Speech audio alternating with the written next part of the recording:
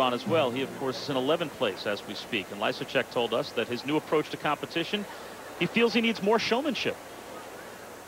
I think that uh, my biggest challenge is to really perform each time. And I think coming up as an American skater, we're taught to be a vision of consistency and just whatever happens, you go out and land your jumps and do your spins. And um, I've kind of noticed this year I've done that. I've done what I think is my job and haven't ended up in first place. I've been in second and in third. And I think that what it takes is to go out with the attitude of, look, I'm either going to, you know, go for it 100% or I'm going to fall, you know, miserably trying.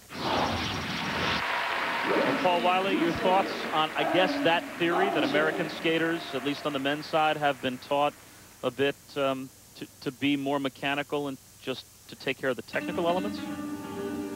I don't know because I was always focused on the performance. Uh, and I guess, yeah, my consistency suffered. So you live a little bit out of your left brain and your right brain.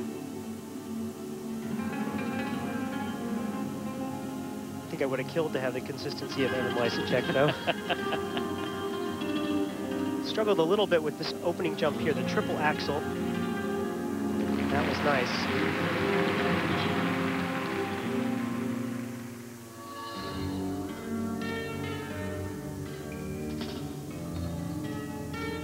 Second element, triple lutz into triple toe loop. Clean as a whistle.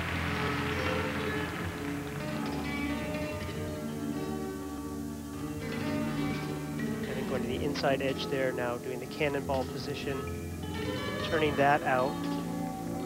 Each of those position changes adding a level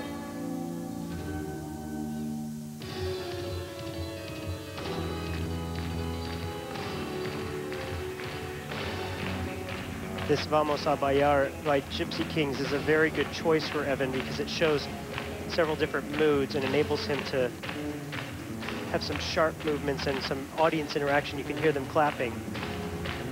The judges are just members of the audience, remember, so they're, they're also feeling that.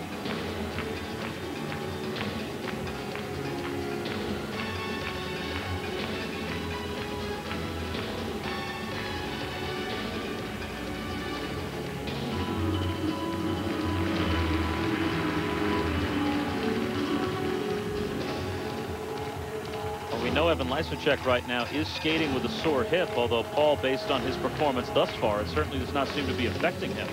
You wouldn't know it, but he said he got it from those inside changes on the back sit spin, where you're pulling out your glute muscle and your oblique. The new judging system really forcing skaters to go out of their comfort zone and stretch and in some cases pull muscles.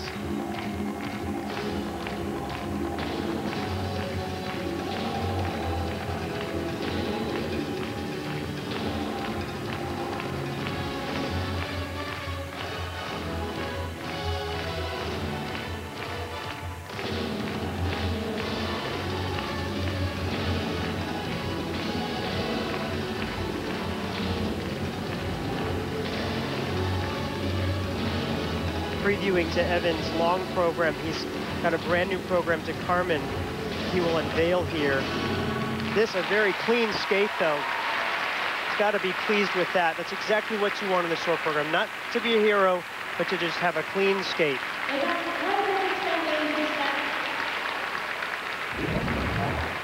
It started with a triple axel. Evan goes a little bit more laterally than most skaters in the triple axel. Gets nice full rotation there. The triple lutz, triple toe loop here.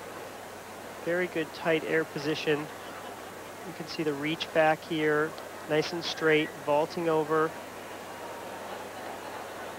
Good ride out there. A little bit less curvy on the landing of the triple lutz, triple toe than the triple axel.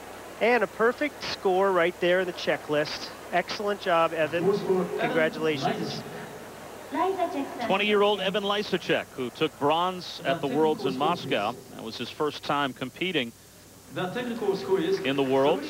He was second at Skate America, and he would need 64.21 to take over the lead as things stand now from Yannick Ponsero.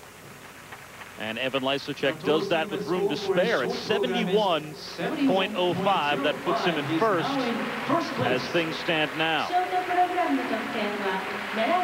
And coming up next, we'll take a look at 24-year-old Japanese skater Takeshi.